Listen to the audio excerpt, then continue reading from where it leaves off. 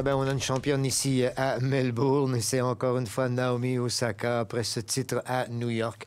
Deux titres Grand Chelem d'affilée. Je pense que dans l'ensemble, euh, tu es d'accord, Robbie, elle était plus brave, plus courageuse quelque part, Naomi Osaka.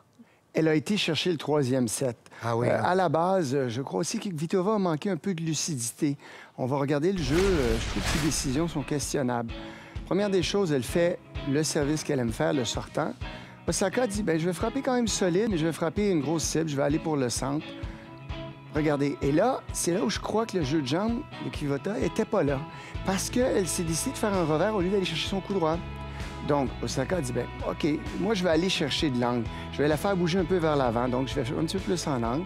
Par la suite, elle se dit, probablement, je vais rejouer au même endroit pour pas prendre trop de risques. Et l'erreur, c'est d'envoyer la même balle une troisième fois. Et Osaka a eu le courage et dit, moi, je veux Oui, le coup gagnant.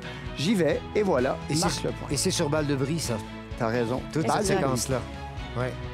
Alors, on avait dit, euh, évidemment, après le match devant Pliskova, il avait dit, euh, Osaka en conférence de presse, ce match-là, tout calme, il nous avait expliqué ça, je l'ai gagné entre les deux oreilles, je l'ai gagné avec euh, ma tête. Il peut dire la même chose de cette rencontre-là. Oui, alors, comme on a dit, elle a eu des match points. Et là, normalement, tu te dis, ah, mon, cerveau est dans le passé. Tu as bien mentionné, elle a pleuré, beaucoup d'émotions, elle quitte le court.